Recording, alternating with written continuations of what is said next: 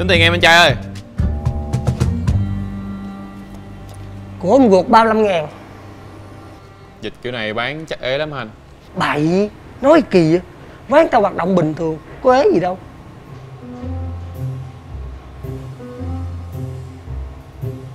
Thấy không gian quán ok không? Tôi tính sửa lại cho ngại ngại xíu đó. Ok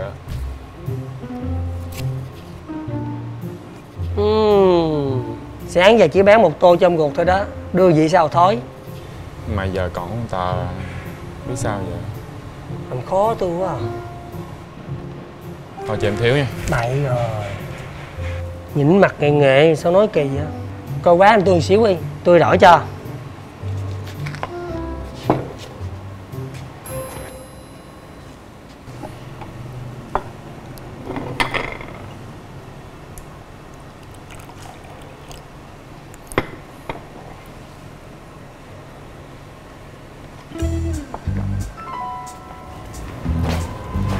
Chà, quán cũng đông đúc nhộn nhịp. Nhìn ok quá mày. Quán trang trí nghệ quá trời ha. Chắc còn nghệ sĩ với tụi bay ơi. Phải không? Thầy biết không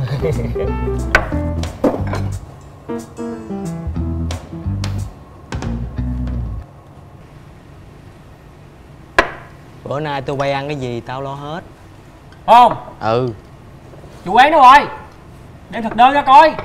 Ờ ảnh đi công chuyện rồi có gì mấy anh đợi xíu nha.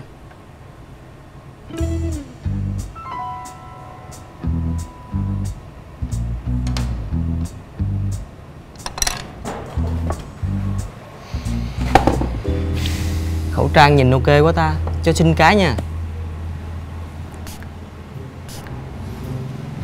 Vui lòng giữ khoảng cách giùm em. Ờ. Ủa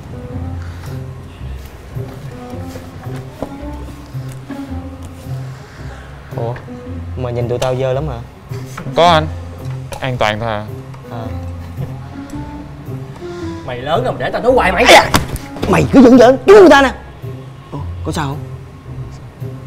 Đi qua xin lỗi người ta kìa!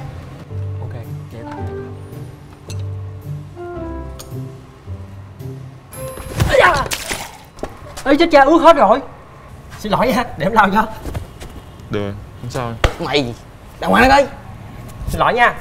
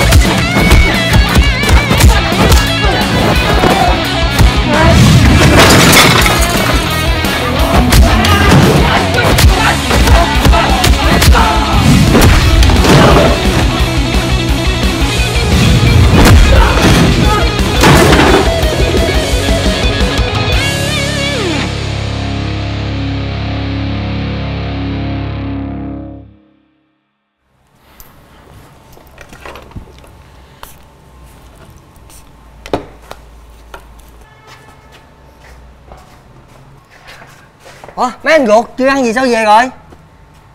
Nãy giờ ăn hành no rồi, Ăn gì nổi nữa?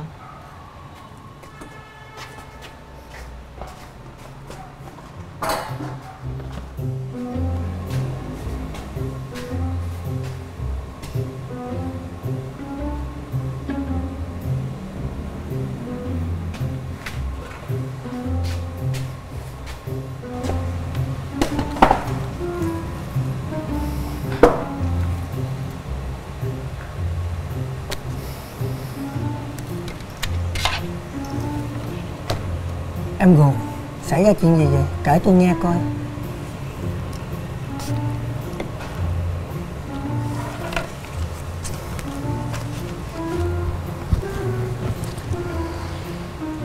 Anh đeo vô đi rồi tôi kể nghe.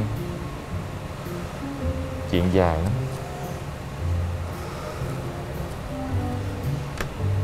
Tôi đeo rồi nè kể tôi nghe coi tôi muốn biết sự thật.